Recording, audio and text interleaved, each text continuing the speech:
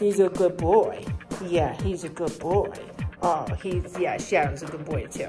Oh, such good puppies. Yeah, we don't want to eat yucky kibble anymore, do we? So I've been feeding my dogs Taste of the Wild bison and venison for years. It's just dumb kibble. I've done the research on its ratings and it does get very good ratings. This week I saw a guy who was getting whole food dog foods and he ran out and decided to make his own. They gave him the recipe because their shipment was late. So I went ahead and made all the ingredients myself as well and I'm about to mix it together, but I wanted to show you because even though I get a really good deal at Petco from their membership thing, and I only end up spending about maybe 40 to $50 per bag with the discount, still I'm spending like, I don't know, $200 a month on dog food for these three big dogs I have. Here's two of them. And there's the other one. Hi, buddy. Uh, so I actually was gonna get frozen vegetables, but they didn't have any at Sam's Club like I wanted, so I got some carrots that was, I don't know, for like a five pound bag of carrots, it was only $2, so that made a lot of sense. And then these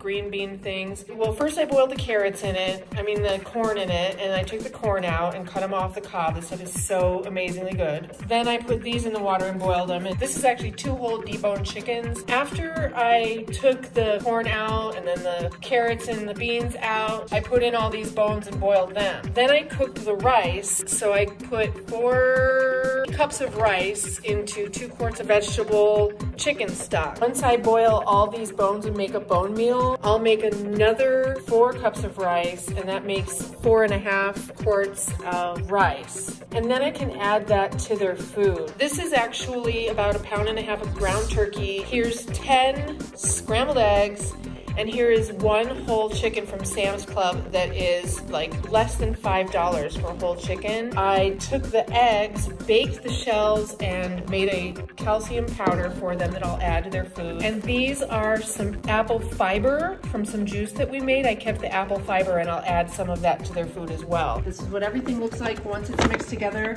And I've got to tell you, my dogs are super excited to eat. Really happy with how this came out. Like I said, I'll add probably a little bit more rice to each of these so they can have a cup and a half per meal or so. So an extra cup of bone broth rice a day to give them a little bit of a fuller feeling in their stomach. It's far more nutritious, so it should keep them satisfied for longer, right? I'm excited for you. Sit. He's a good boy. Yeah, he's a good boy.